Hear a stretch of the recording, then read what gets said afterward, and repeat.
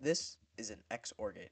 What is an XOR gate? An XOR gate is a type of logic gate, which is something in a computer that inputs and outputs bits to regulate the flow of electricity. What is a bit? A bit is simply one of two states, 0 having no electricity and 1 having electricity. So, let's look at the XOR gate. The XOR gate has two inputs and one output, meaning that we will input a total of two bits. We can represent this by using a truth table, which has two columns for inputs and one column for our outputs. So let's write every possible combination of inputs.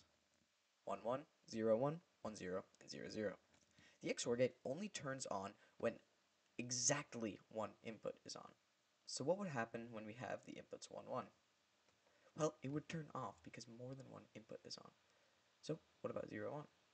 For 0, 1, we get a 1 because exactly one input is turned on. The same would go for 1, 0. For 0, 0, it would simply be off because no inputs are on. So let's do some practice. 1, 0, what do we get? We get a 1 because exactly one input is on, namely input 1. But what if we switched that 0 to a 1? Well, the output would be 0 because both of the inputs are on. The interesting thing about an XOR gate, though, is that we can write it using multiple logic gates, which this is how the XOR gate is constructed.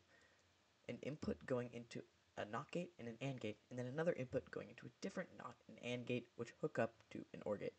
Well, that's the XOR gate. Thanks for watching.